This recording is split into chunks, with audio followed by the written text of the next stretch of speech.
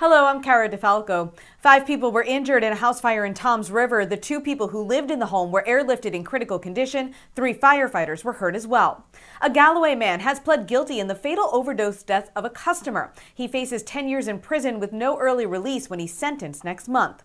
And Burlington County is asking anyone with information about a hit and run accident in Willingboro to contact them.